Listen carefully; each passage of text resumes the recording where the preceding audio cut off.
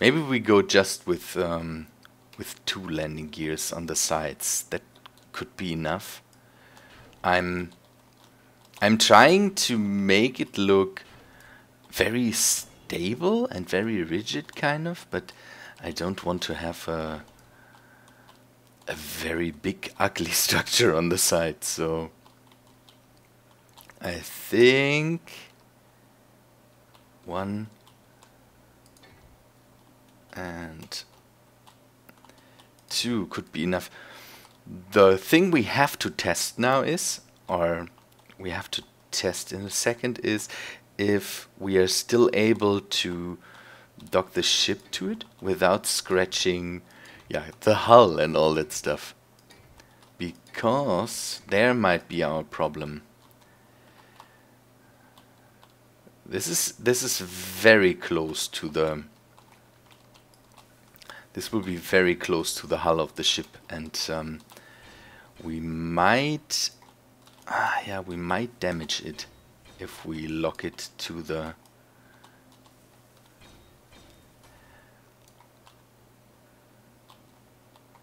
we will we will just test test here on this side. The docking port, the actual docking port on the ship will be somewhere here. With the um, with the auto locking feature of these of these landing gears, I can oh I need a lot more steel plates. With the locking feature of these uh, landing gears, I can uh, make it so that I uh, for one thing, can yeah have the locking uh, the the auto locking feature going, and I don't need to. Is it done? It is done. Very good. Um, I don't need to get out of the ship to yeah disengage it from the station. So that's another another thing that I yeah, kind of want to achieve with this. Let's finish it up here and I can do this by hand. Um, for now I I mostly want to see um, if I can auto lock it and don't have to um, give me. Let me see. I want. Uh, I want to have. Um,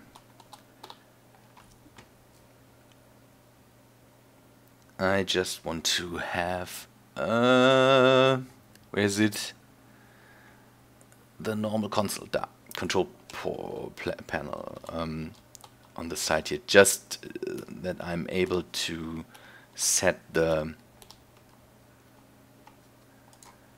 construction so that I'm able to set the the amount of force that is needed to break loose here. It's a bit of a testing I should have done in a in a creative world, but uh, some of you know that I'm not such a big fan of creative worlds. What I had displays, but no computer. Okay. I really, I, I have displays. Just then.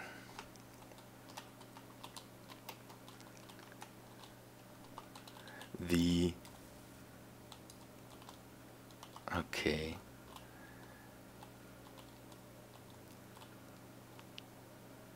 There will be no good way to see how that works. Ah, I wanted to see the, the uh, set the auto locking feature.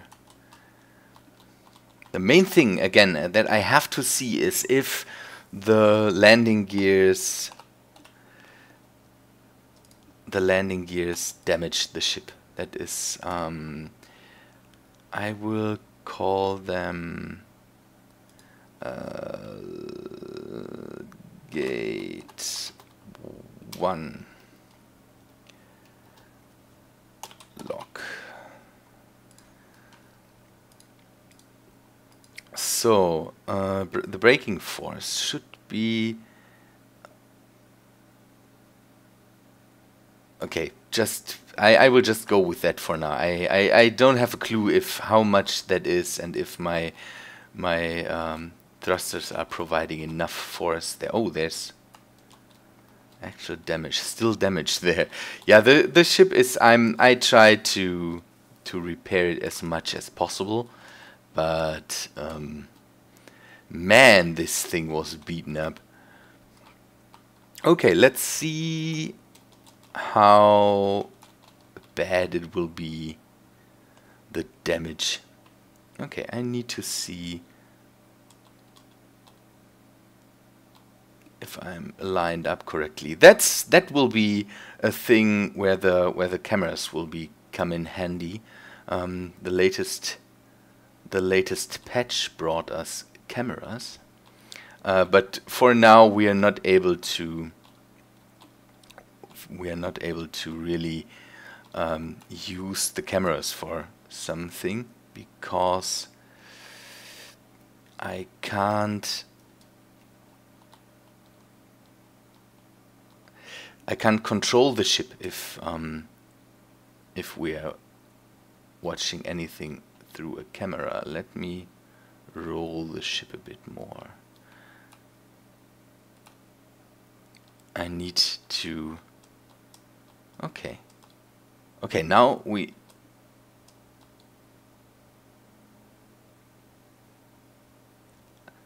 Now we should be locked. We should be locked now. Yeah, we are locked. Nice. And let me see how. Oh, I was, I was fairly accurate. I could jump through. Ah, no. Ah, if I duck down, no, not possible. Um, but at least we can see that we um, that we can lock it.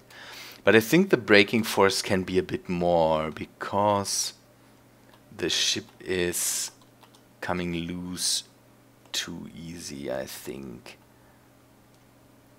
You can see that it it breaks loose when I'm ah, these sometimes the camera controls are Oh no. Ah, okay. Hmm, okay, the the it is easier to break it if I just speed forward. okay. Now does it lock automatically? And it stays a bit away from the from the hull, so it don't needs to be too close to, to lock the ship down. Um, that is good, that is good. Okay, this, uh, I Man, I really need... How close are we? We are relatively close. Yeah, the cameras will hopefully make that a lot easier. A lot easier.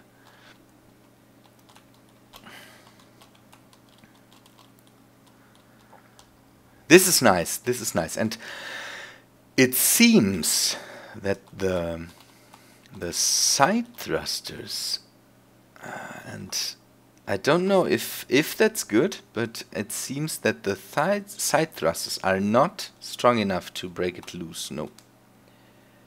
So this will not work. Maybe I can bring it down a bit.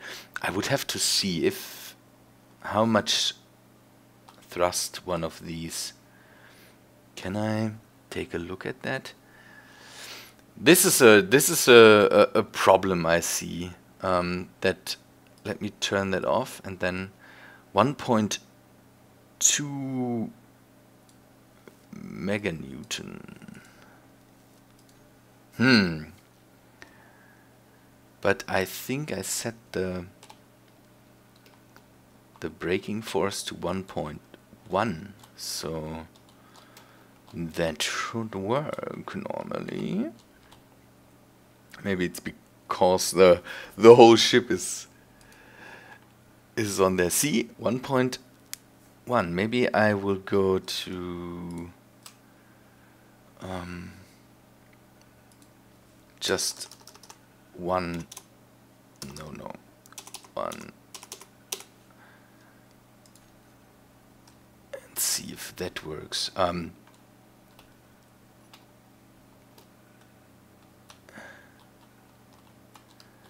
it would be nice if it could break loose one thing it can't break I think, and that is good, we will have to test is... Oh, the, the gyros can break it. But the side thruster still can't. Is the thrust... Is the thrust... When you're using the normal buttons not high enough? Maybe it's it is not using the maximum thrust if we are that could be that could be the case because it is more effective to use the dampeners to turn on the dampeners to brake your ship or to slow down your ship um, than to use the buttons. Maybe that could be the case there that the that the buttons don't provide full thrust and only give a portion of the full thrust there. And the dampeners the computer if it if it slows you down uses the full thrust. Hmm on the other hand it is so far away that if I just speed up a bit um, to break loose and then go sideways that that is working too. So um, one thing I have to be careful with is using the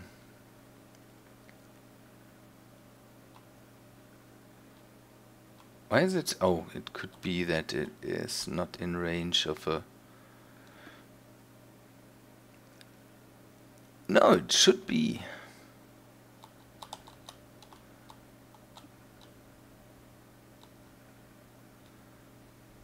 And I like that it is not... See, now I damaged it.